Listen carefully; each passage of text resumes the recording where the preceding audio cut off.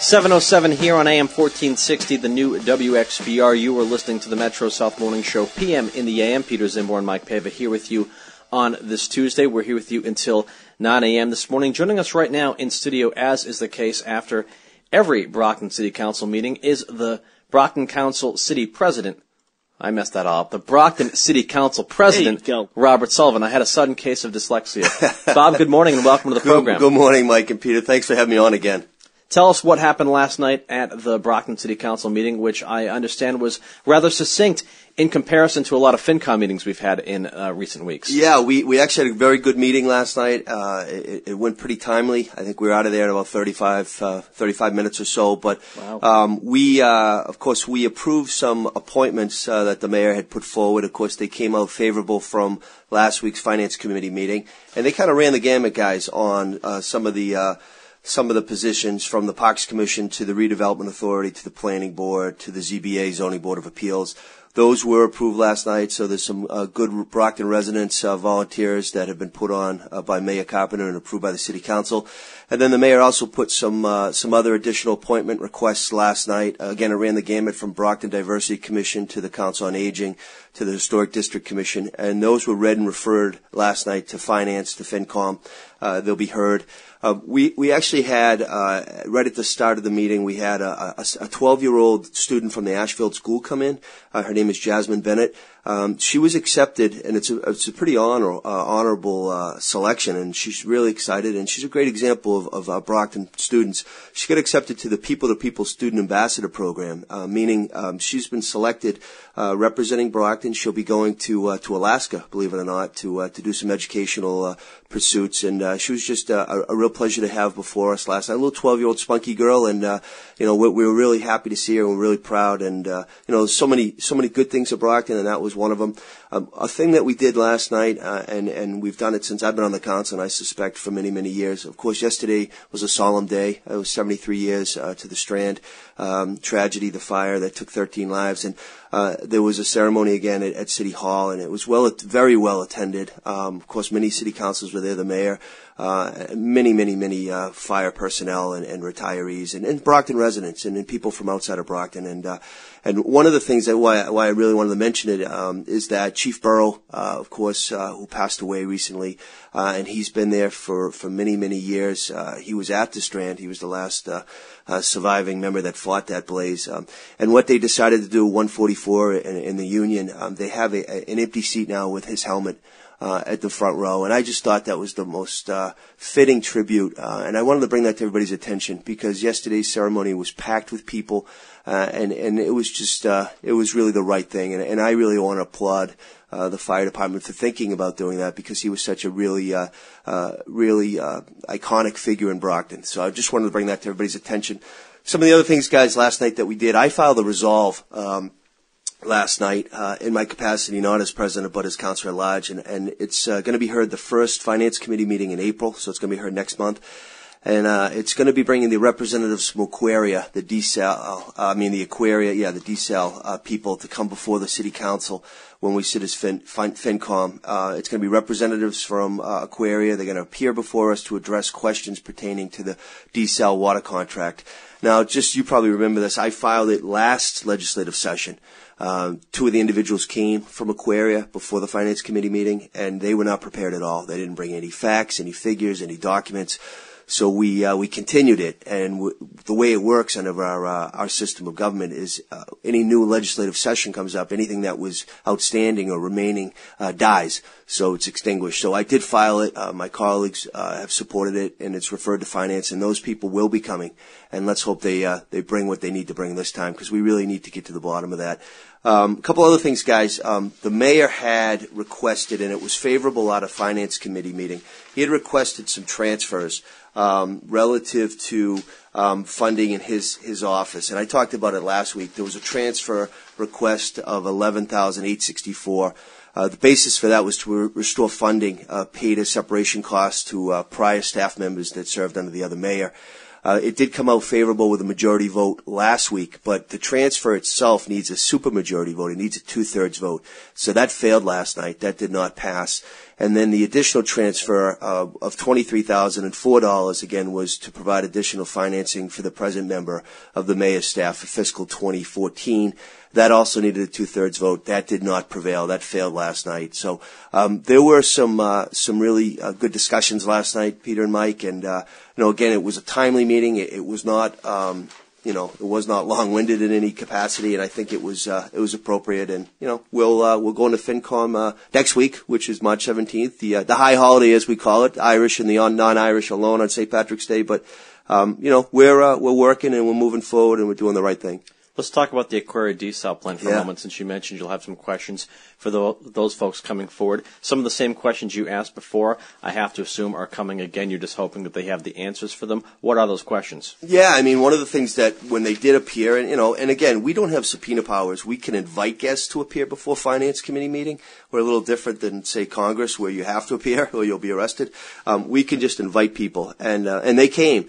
But I will say everybody, uh, and again, that time we had some different members on the council as well, but everybody was very uh, disappointed and upset. And, and I was the, the proponent. I brought the resolve. I was very, very upset because they did not give us any facts and figures. I wanted to know specifically, my question is, prove to us that you're marketing. You have an obligation to market.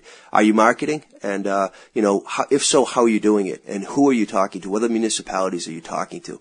Uh, you go into the MMA, uh, every year, the trade show, Mass Municipal Association. I mean, that's a great forum. Uh, the gentleman at that time didn't even know what I was talking about. So, you know, I think we need to know, uh, uh, we're entitled to know since the city is a party of the contract. We're entitled to know exactly are they abiding by the terms, the obligations under the contract, and uh, you know we're going to have them come in and, and again I hope they appear and I hope that they bring all the facts and figures that that you know prove one way or the other that they're doing what they're supposed to do under the contract. This was a hot topic during the campaign for mayor, council at large, and the various council seats in the various wards within the city last fall.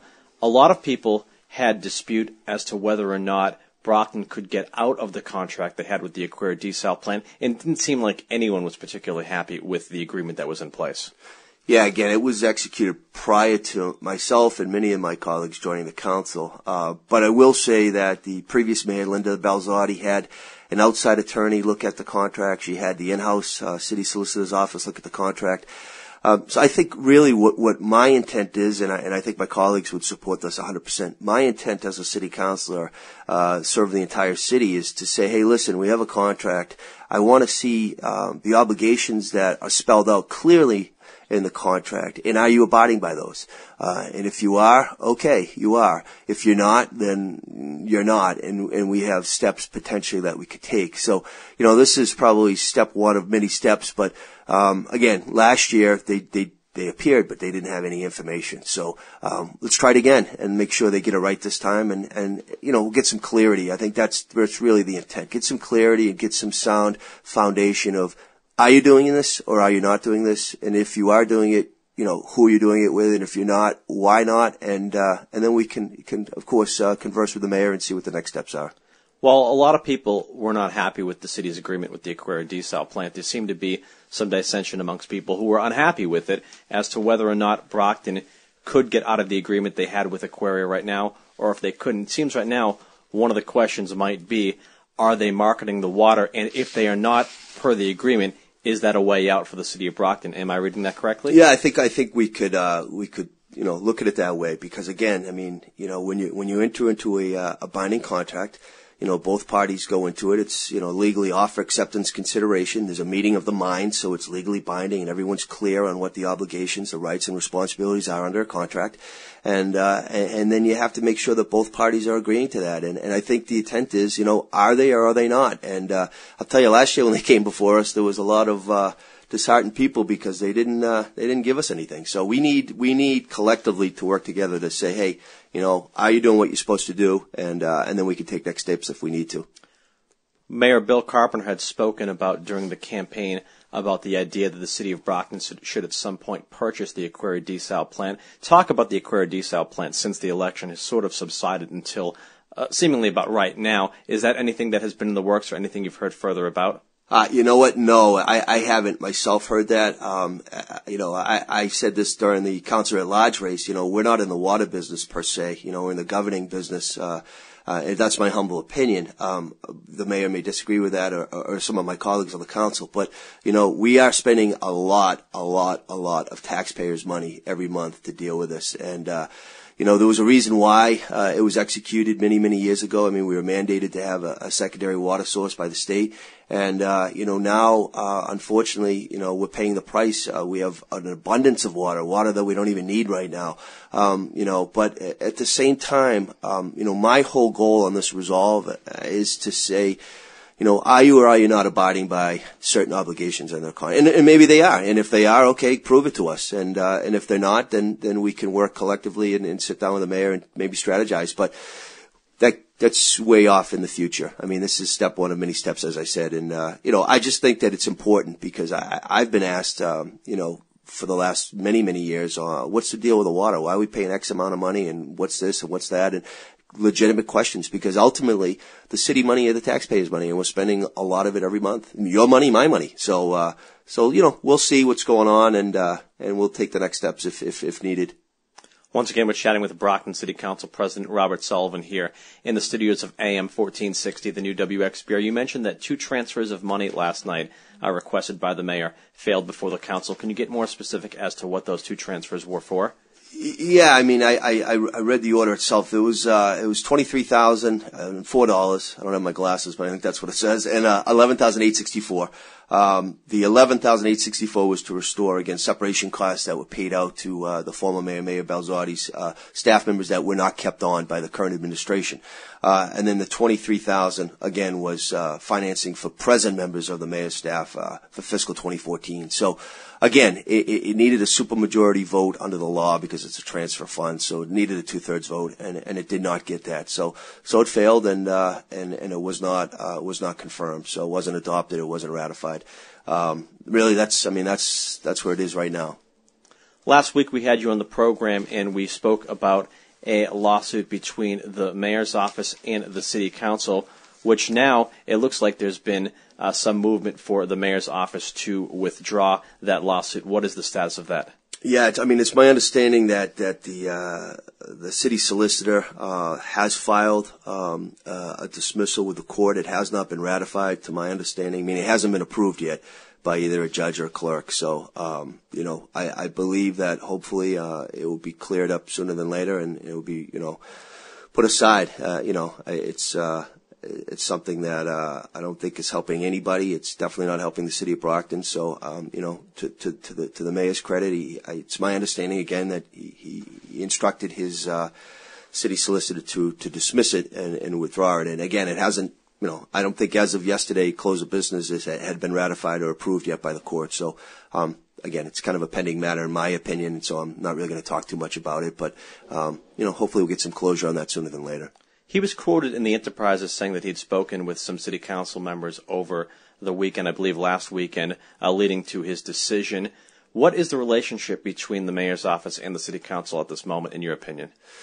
You know, I saw the mayor yesterday. I mean, at, at the Strand uh, ceremony, me and my myself and my colleague uh, Paul Studinsky. I mean, I, I you know, I, I don't have any any problem with Mayor Carpenter in, in any way whatsoever. Um, you know, he's the mayor. Uh, he's the CEO of the city of Brockton. We're the legislative body, you know. So, uh, you know, I, I disagree with some of the things. Of course, I'm, I'm, a defendant named in the lawsuit that he filed. So, uh, which is not a, a, a, pleasant situation for anybody involved. But ultimately, you know, he filed it and now he's going to withdraw it. And I, and I thank him for that. And I think it's the right thing to do. But, um, you know, I, I, again, we just need to work together. And I've, I've said this many, many times, you know, we're, we're elected be it mayor, school committee, city council, uh, representatives of the Southeastern Regional, we're elected by the voters, the taxpayers, the constituents that we serve. So we all got to get along. You know, we're not always going to agree. You know, we can agree to disagree, but at the end of the day, we have to do what they call the people's work because that's what governing is all about. So um, I, I, I can't comment on the other ten people that I sit with, how, how, you know, what relationship they have with any other elected official, but you know, I, I know I've been doing this for nine years, and uh, you know, I, I think I've done a, a you know a, a good job of, of public service, and I'll continue to do that in some capacity. But,